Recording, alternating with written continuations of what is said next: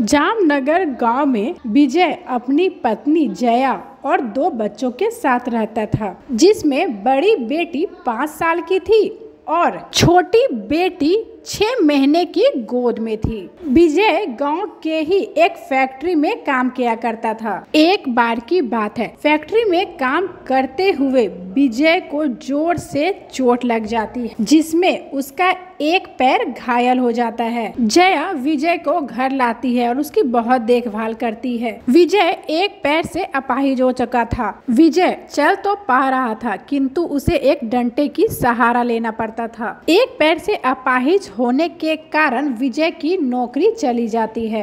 एक दिन विजय अपने घर में भगवान विष्णु के सामने रोने लगता है और बोलता है, हे प्रभु, मैंने ऐसी क्या गलती की है जो आप मेरी ऐसी परीक्षा ले रहे हैं। एक तो मेरे पैर चले गए, ऊपर से मेरी नौकरी भी चली गई। प्रभु, मेरे घर का कैसे गुजारा होगा प्रभु? मेरे बच्चे जो दूध के बिना बिलख रहे हैं प्रभु, अब मैं क्या करूँ? कहाँ जाऊँ? कोई मुझे पैरों के कारण नौकरी नहीं दे रहा है। मुझे अपाहिज बोल बोल कर मेरा मज़ाक उड़ाते हैं सभी। ए जी आप मत रोइए। एक दिन भगवान विष्णु सब कुछ ठीक कर देंगे। बस आप भगवान पर विश्वास रखिए। अगर संकट आया है तो वही इस संकट से हमें निकालेंगे। बस आप धीरज रखिए। इसके बाद विजय नौकरी की तलाश में घर से बाहर निकल जाता है। विजय दुकानों और फैक्ट्रियों में जाकर काम माँगता है, किंतु अपाहिज होने के कारण उसे कोई काम नहीं मिलता। हे भगवान, अब मैं कहाँ जाऊँ, कहाँ काम मांगू? कोई मुझे काम नहीं देता। क्या अपाहिज को जीने का हक नहीं है? ये सब सोचते हुए विजय अपने घर वापस आ जाता है। घर आते ही वो देखता है कि उसका मकान मालिक पहले से घर पर बैठा हुआ था। क्या रे विजय, कोई काम मिला कि नहीं मिला? मेरे पाँच महीने का किराया बाकी है। अब तू ये बता कि मेरा किराया कब देगा घर का? अगर इस महीने मुझे किराया नहीं मिला तो मैं तुम लोगों को घर से बाहर निकाल दूँगा। फिर मत बोलना। मालिक, मुझे कुछ समय और दे दीजिए। आपको तो पता है अभी अभी मेरा एक्सीडेंट हुआ है और अपाहिज होने के कारण कोई मुझे काम नहीं दे रहा है। और अब आप भी मुझे घर से बाहर निकाल देंगे तो मैं इन दोनों छोटे छोटे बच्चों को लेकर कहाँ जाऊँगा, मालिक? दया कीजिए, मालिक। ठीक है, अभी तो मैं जा रहा हूँ, किंतु मैं दो दिनों के बाद फिर से वापस आऊँगा। इस तरह दो दिन बीत गए। विजय काम की तलाश कर थका हारा शाम को अपने घर वापस आता है तो देखता है। उसके घर का सारा सामान बाहर बिखरा हुआ है। अरे मालिक, ये क्या कर रहे हैं आप? आपने तो मेरा पूरा सामान ही बाहर फेंक दिया है। आप इस तरह करेंगे तो मैं कहाँ जाऊँगा मालिक? जरा सोचिए, मेरे दो छोटे छोटे बच्चे हैं मालिक। अरे चल हट, घर का किराया तो दे नहीं रहे हो पाँच महीनों से। और तुझे घर में रखना है मुझे? मुझे नहीं रखना, तू जैसे आदमी को अपने घर में। चल, अपना बोरिया बिस्तर बाँध और अपने परिवार को लेकर यहाँ से निकल जा। घर का मालिक विजय का एक भी बात सुने बिना घर पर ताला लगाकर वहाँ से चला जाता है। ए जी, अब हम लोग कहाँ जाएँगे? ये मुन्ना भी ज़ोर ज़ोर से रो रहा है, इसे भी भूख लगी है ज़ोर की। अब हम लोग क्या करेंगे? कहाँ जाएँगे? जया, चिंता मत कर। अभी तो फ़िलहाल हम लोगों को यहाँ से कहीं जाना ही पड़ेगा।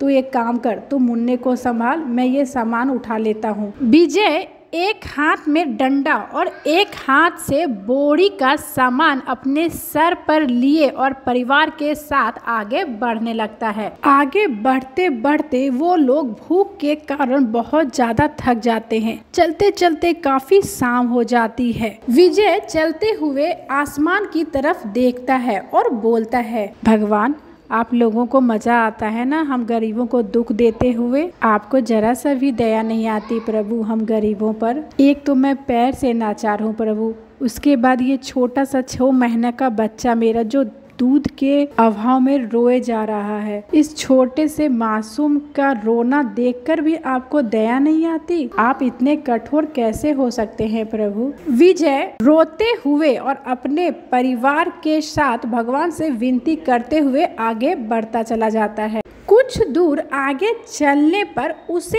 एक टूटी फूटी सी झोपड़ी दिखाई पड़ती है, जो घास और फूस से बनी हुई थी। रात होने वाली थी, इसलिए वो जया से बोलता है, जया, रात होने वाली है, क्यों ना हम लोग इस टूटी फूटी झोपड़ी में रुक जाए? बच्चे भी काफ़ी रो रहे हैं और काफ़ी थक भी गए हैं। हमें यहीं पर रुकना चाहिए। हाँ जी, आप सही कह रहे हैं। मुन्नी भी बहुत देर से रो रही है और मैं भी अब थक चुकी हूँ। अब आगे नहीं चला जाएगा। हारा विजय अपने परिवार के साथ वहीं पर सो जाता है। सुबह जब विजय की नींद खुलती है तो वो देखता है कि उस टूटी फूटी हुई झोपड़ी के एक कोने में भगवान विष्णु की मूर्ति रखी हुई है, जिस पर कुछ सूखे पत्ते और घास फूस रखे हुए थे।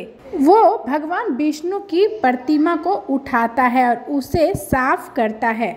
मूर्ति के ऊपर से घास फूस और सूखे पत्तों को हटाता है। उसके बाद विजय झोपड़ी के पीछे ही चापाकल था, जहाँ वो जाकर नहाता है और मूर्ति को भी नहलाता है। नहाने के बाद वो उस मूर्ति को उस झोपड़ी में बने हुए एक कोने में चबूतरे पर रखता है और भगवान विष्णु की पूजा करता है। वो अपने घर से भी लाई हुई मूर्ति को उसी जगह पे रखता है। पूजा करने के बाद वो अपनी पत्नी जया से बोलता है जया, मुझे लगता है ये भगवान विष्णु का ही कोई चमत्कार है। लगता है इस झोपड़ी में कोई नहीं रहता। क्यों ना हम लोग इस झोपड़ी को ही थोड़ा अच्छे से ठीक करके हम लोग यहीं पर रहें और मैं भी अपना कोई काम शुरू करूँ? हाँ जी, आप सही कह रहे हैं। आज की सुबह एक नई किरण लेकर आई है हमारे लिए। ये रोशनी की वह किरण है